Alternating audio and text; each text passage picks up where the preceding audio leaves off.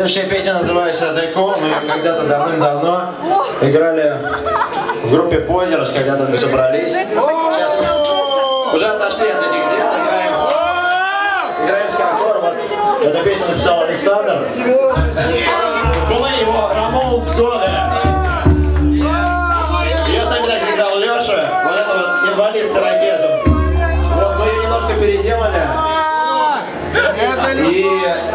И сыграем ее сейчас. Песня называется The Call.